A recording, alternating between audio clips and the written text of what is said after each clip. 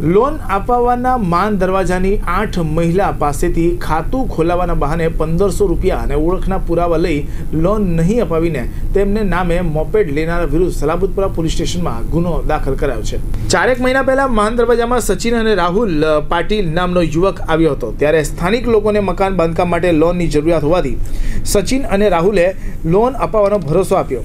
સ્થાનિક લોકોએ ખાતું ખોલાવવાના પંદરસો અને ઓળખના પુરાવા આપી દીધા હતા. ત્યારબાદ સચિન અને રાહુલ લોન અપાવી ન હતી. ચારેક મહિના પછી ખાનગી ફાઇનાન્સ કંપનીમાંથી જાણવા મળ્યું કે આરોપી એમના નામે અડાજણની એક બેંકમાં એક હજાર રૂપિયા ભરીને ખાતું ખોલાવી દીધું.